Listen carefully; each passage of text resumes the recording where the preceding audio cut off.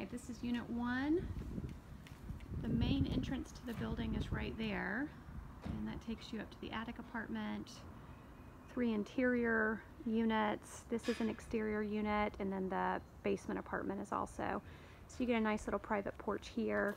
Uh, the listing agent was just explaining that the original property was owned uh, by the current owner's mother, and then it was passed on to the four siblings. One of those siblings who lived in Asheville just passed away. So now it's owned by the three remaining siblings who do not live here in Asheville and really don't know anything much about the property at all. Uh, Rory's feeling is that the units are underpriced as far as rent is concerned. They just rented out, I think he said unit three for a thousand a month, and definitely feels that uh, rents could go up. So let's go ahead and take a look.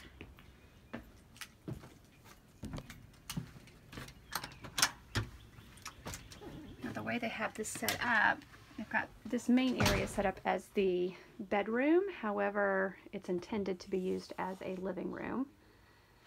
You do have drop down ceilings and those drop down ceilings are probably there to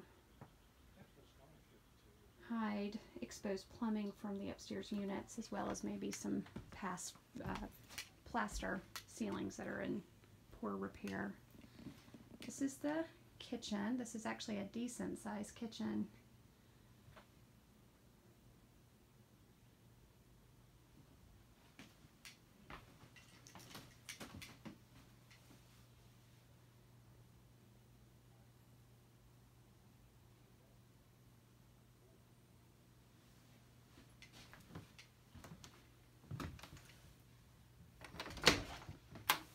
And then this is just storage.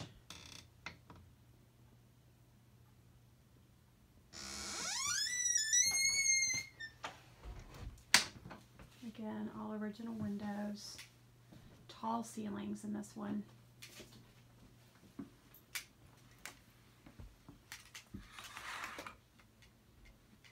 And then this room back through here is intended as the bedroom.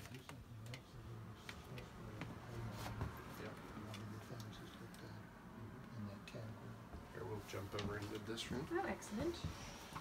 Say hello again. There you go. um, nice little bump out here. Again, nice tall ceilings. It's a window.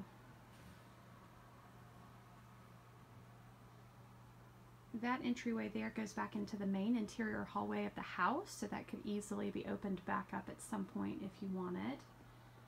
Closet, clothing. And then this doorway leads back into the living room or what they're using as the bedroom. And then this is the bathroom.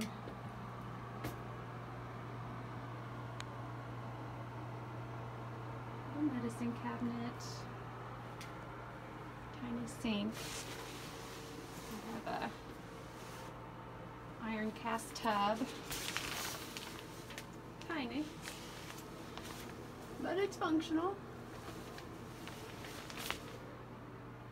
And then again, that is an option to go back into that interior hallway if you were to open it back up. And then a space heater. What, this, this one? And then again, back through. And out we go.